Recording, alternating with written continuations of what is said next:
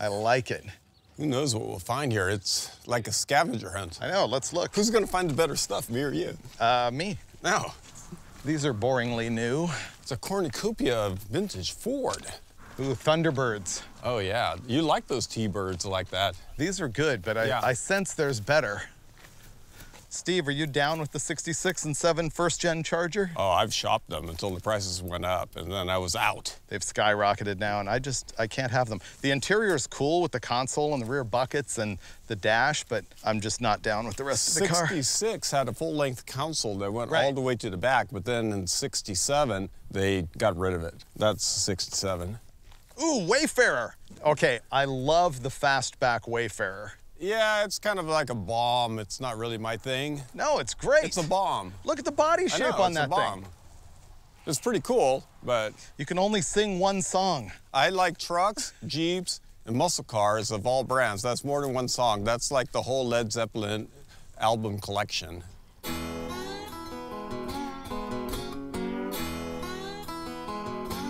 You know, you can take a four-door like that right there And turn it into a two-door. and then make it into a uh, replica stock eliminator car. A lot of people don't realize that the Dart started out as a B body like this. Yeah. Before it became the subcompact, or the compact anyway. Yeah. Look at the Phillips 66 on the door of this Studebaker. Oh, That's cool. that's impressive. I thought you were going to talk about that Studebaker behind it. that Studebaker is good too. That is the Raymond Loewy design right there. That's the Bonneville car you dream of. Yeah. Pretty aerodynamic for its day. For its day, that was the kill. Yeah. Oh man, this Chevelle wagon is just like the one I grew up with. I remember going to the dealership with my dad and picking it up. Did you inherit it later on and then derby it? No, my brother street raced it into the ground and the motor blew up and he got rid of it. Ah, Yeah. We had a 72. This is the 71 because it's got the split in the side marker and a little bit different grill. Mm-hmm. Yeah, 71's better. would you have it? Oh yeah, I'd have that. Would you help me fix it on Roadkill Garage? Would it be like this time on Roadkill Garage, Freiburger goes Re- back to his childhood? Relives his Yeah. teenage years. That would be it. GM had it going on with badges back in the day. The mid 50s Buicks actually had the model year on the badge, but the Oldsmobile right here has the map in the badge. But notice, it's only North and South America.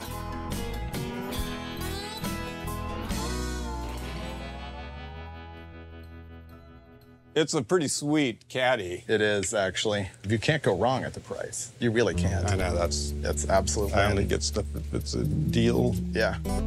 Done. Don't need that anymore. Right. Maybe I should. Oh, wait. Wagoneer. Nice.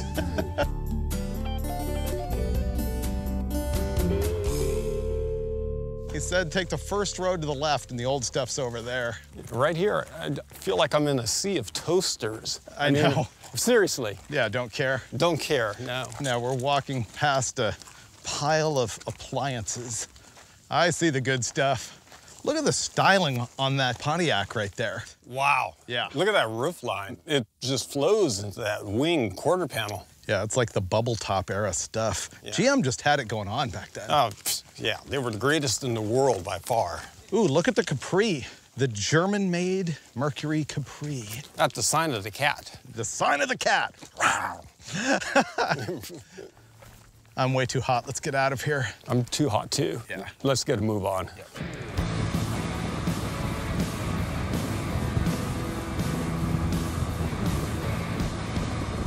TP Auto Wrecking was awesome, and you know what? You expect us to drag stuff out of the junkyard, but you're not going to expect this.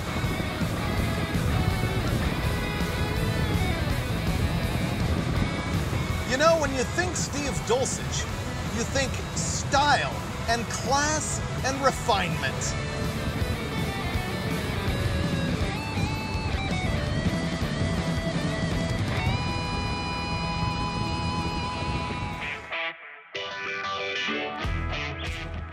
The dash pad is flawless. It's a 64, right? Yeah, 64 DeVille.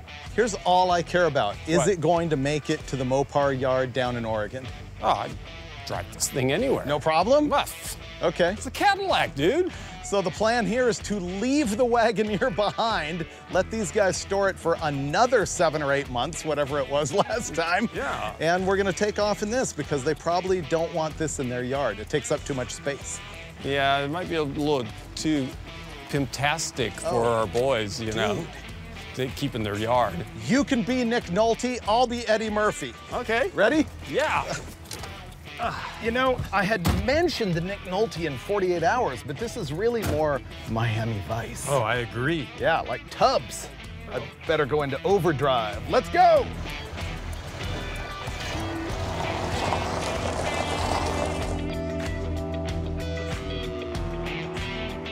Wow, this is pretty swank. Now, I know we were saying that the Wagoneer rode and drove like a Cadillac. Ooh, now we can really put it to the back-to-back test. Well, that's the only reason I got this thing, Okay. actually, yeah, because we did have the Wagoneer and it, it drove in what our impression of a Cadillac ride would be like. yeah. Is this our first time experiencing a Cadillac ride together? For me, I, Wow. Every time we say rides like a Cadillac, we don't know what we're talking about. no, no, Dodge is as far as I got until now. Right.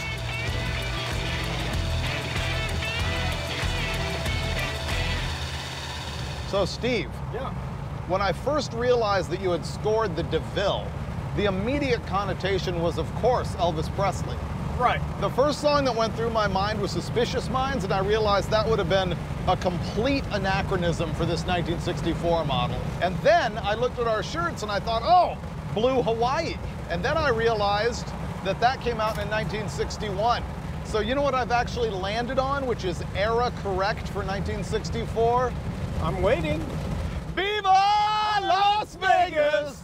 Viva Las Vegas! Yeah! Wow! Oh, this is excellent. I feel pretty happy in the caddy. I had no idea it was this good.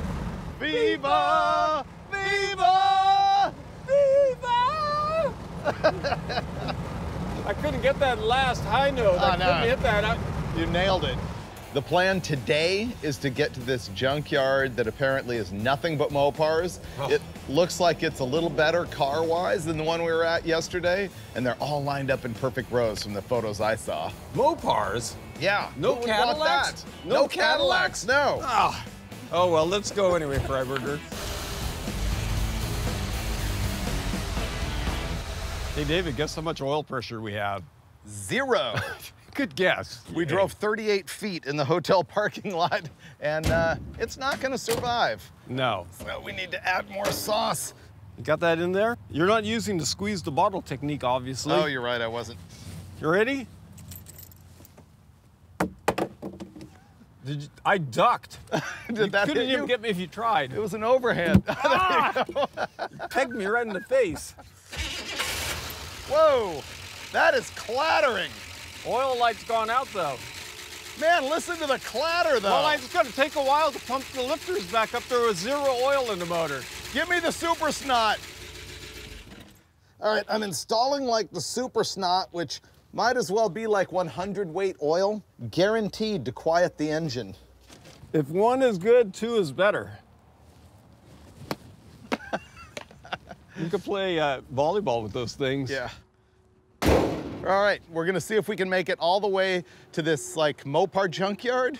Maybe we can trade it in. Mopar? Yeah. if I can find a 60 Imperial convertible, this thing is gonzo. Let's go. Quiet as a mouse now.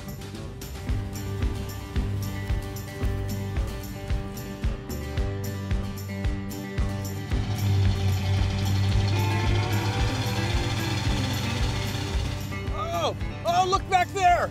Look. Oh, no way! Oh my gosh. oh, I never noticed that before. no. That's absurd. It's like it has a smoke screen feature built in. Wow, look at the Columbia River right there. I know. It's fantastic. No wonder it's a world famous river. Oh, look at that bridge. Wow, that's rad.